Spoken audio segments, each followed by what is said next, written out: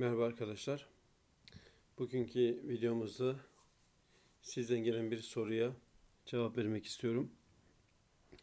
Soru şöyle.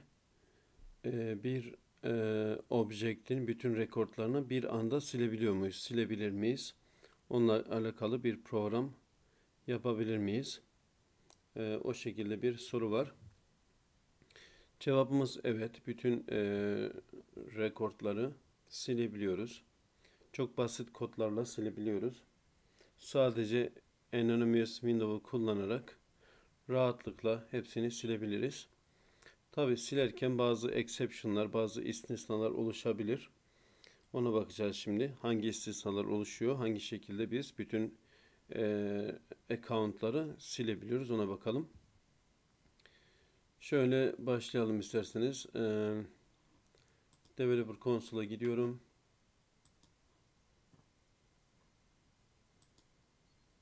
Anonymous Window'u açıyorum arkadaşlar. Öncelikle kontakları silmek istiyorum. Kontakları silerken bir problem yaşayacak mıyız ona bakalım. Bir exception oluşacak mı ona bakalım.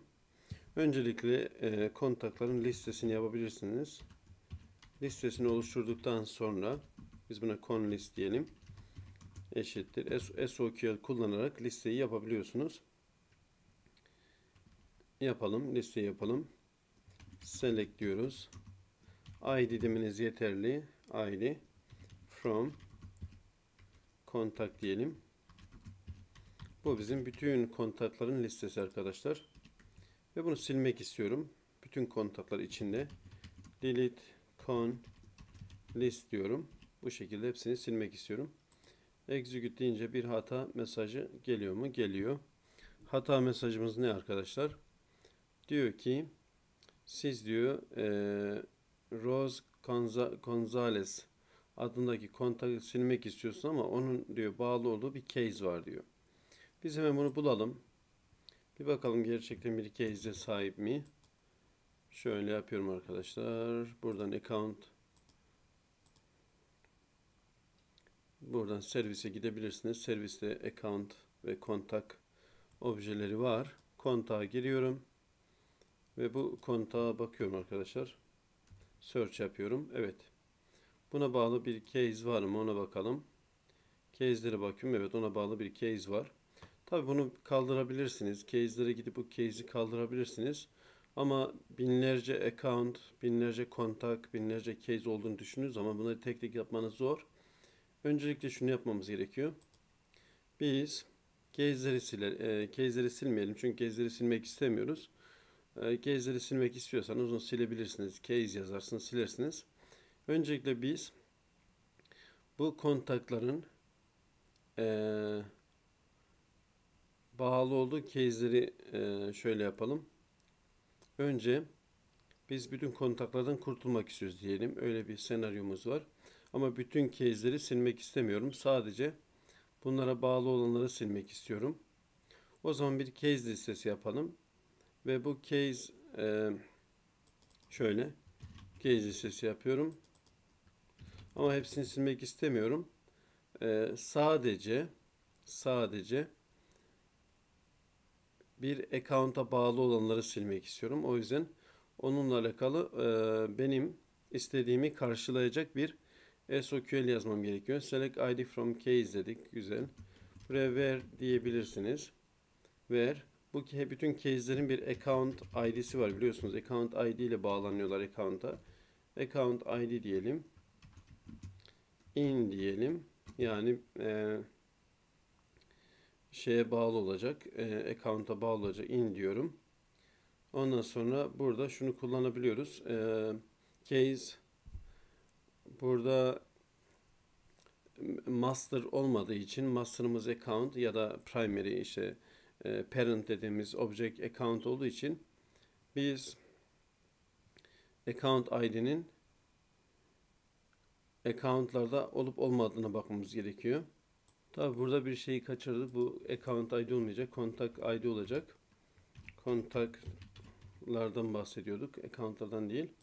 Buna şöyle diyebilirsiniz. Where contact ID is not is not equal e, null diyebilirsiniz. Çünkü eğer null değilse demek ki belli bir kontağa bağlı, bir kontağa sahip. Null olsaydı kontağa sahip değildi. Biz bunları silmek istiyoruz. Buna case list diyelim. Önce herhangi bir kontağa bağlı olan case'leri silmek istiyorum. Bunu execute yapıyorum. Gördüğünüz gibi sildi. Şimdi tekrar geri geliyorum. Şu anda e, isterseniz o biraz önce baktığımız e, kontağa bakalım tekrar. Case'i var mı? Artık bir case'i yok görüyorsunuz. Çünkü case'ini sildim ben. O yüzden şu anda rahatlıkla kontak listesi oluşturup kontakları silebiliriz. List e, buraya kontak deriz. Kontak diyelim buraya. E, ondan sonra veri artık ihtiyacım yok. Çünkü bütün kontakları silmek istiyorum. Buraya da kontak diyorum. Bütün kontakları siliyoruz. Bunu con list yapabilirsiniz ya da aynı da kalabilir. Problem değil. Sonuçta bir liste adı. Ama bizim kontakt objekine hitap etmesi için con list yazdım. Şimdi siliyorum. Bütün kontaklar siliniyor şu anda. Ee, biraz önce silinmemişti çünkü bazılarında case vardı. Şu anda bakıyoruz all contacts kısmında hiçbir şey yok. Bomboş. Şimdi accountları silmek için ee, bir liste oluşturalım. Yine account diyorum. Gördüğünüz gibi account diyorum. Sonra bunu silmek istiyorum. Bütün accountları silmek istiyorum. Eğer bazı accountlarda case varsa yine aynı hata mesajıyla karşılaşacağız. Gördüğünüz gibi hem case var. Öncelikle bize e, ne diyor? Enti, e, entitlement'a bir e, account'a bağlı. Bir account'a bağlı. İsterseniz bakalım. Hemen bu objekti e, buluyorum. Şu şekilde. Oraya bakıyorum. Evet bir tane var zaten ve bu da account'a bağlı. Öncelikle bunu silebilirsiniz. Şimdi ben bunu account'tan çıkarıyorum. Gördüğünüz gibi. Ha, bak e, zaruri yapmışlar.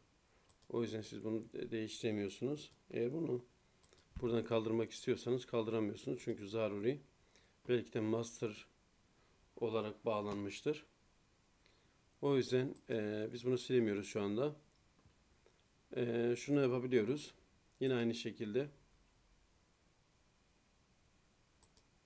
Şöyle de yapabilirsiniz. Sample entitlement'ı tamamen kaldırabilirsiniz. Bunu siliyorum.